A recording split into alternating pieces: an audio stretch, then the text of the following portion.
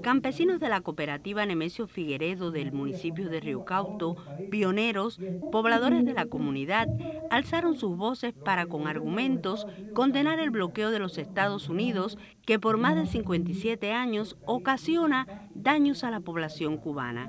En la audiencia pública, el diputado Ramón Aguilar, presidente de la Comisión Agroalimentaria de la Asamblea Nacional, explicó cómo el Parlamento se nutre de la inteligencia popular. Yo no he podido lograr tener una magnífica cosecha porque yo he sido bloqueada totalmente en la pérdida del arroz, en, la, en las cosechas, o me ha faltado la máquina, o me han faltado los recursos, todas las cosas que yo he necesitado para llegar a ese momento que he deseado.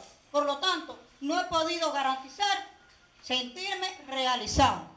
Los presentes argumentaron las carencias de fertilizantes, maquinarias, las que han ocasionado dejar de producir 1.600 toneladas de arroz, afectaciones a los parámetros de las cosechas y la producción de leche.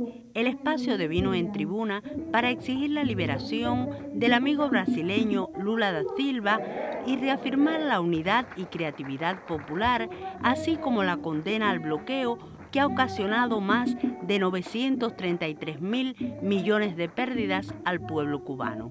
Teresa Armesto, Sistema Informativo de la Televisión Cubana.